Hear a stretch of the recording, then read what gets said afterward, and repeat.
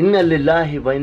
राजौन पाँच हज़ार साल कदीम तहजीब और आलमी विरसा करार पाने वाला मोहनजोदाड़ो भी, अदारों की करप्शन, नाहली और बद इंतजामी के सबब अब हमें नहीं रहा, जिस पर जितना भी अफसोस किया जाए वो कम है। मैं हूँ मुसाफिर पाकिस्तानी मुख्तार अहमद भाई जी, कैमरामैन निक्सन जॉन के साथ इस वक्त कराची प्रेस क्लब के डिजिटल स्टूडियो में, और आपको सुनाने जा रहा हूँ मोहनजोदाड़ो के दरियाब से तबाही तक की एक ऐसी दास्तान, जिस पर दिल खून के आँसू रो रहा है।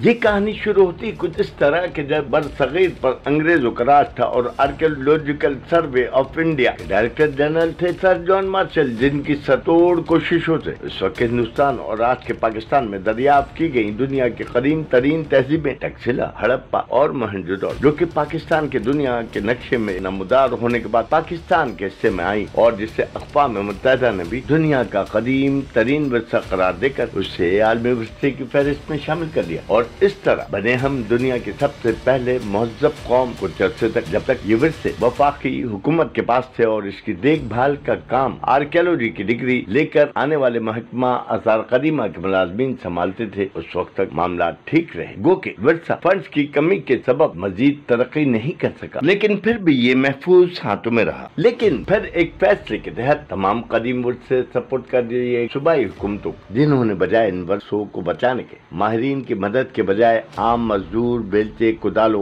मशीनरी से काम शुरू कर दिया, जिसके ज़्यादातर आसार मुरतब हुए मोहनजोदाड़ो पर और ये कदीम तबाही के दहाने पहुँच गए। और यही वजह थी, क्या हालिया बारिशों के हवाले से महकमा मौसमियात के बार बार अलर्ट जारी किए जाने के बावजूद किसी किस्म की कोई तवज्जो नहीं दी गई और न ही कोई हिफाजती इंतज़ाम किए गए, जिसके सबब होने वाली बारिशों ने पूरे दस एकड़ पर मोहित मोहनजोदाड़ो में ऐसी तबाही फैलाई, जिससे निकलना मुश्किल ही नहीं। नामुमकिन है।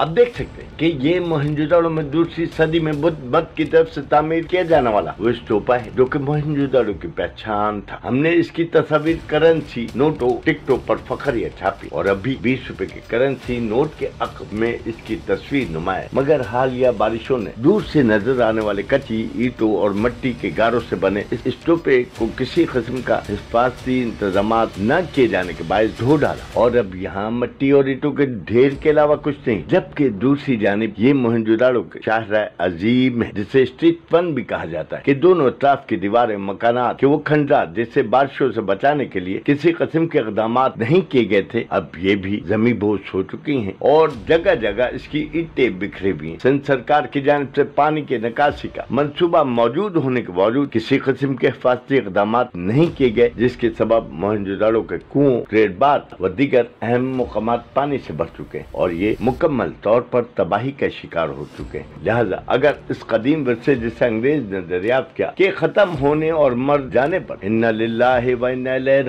पढ़ लिया जाए तो कतई तौर पर भेजा न होगा। लिहाजा आइए हम सब मिलकर आज मोहनजोदड़ो पर पढ़ते हैं, इन्ना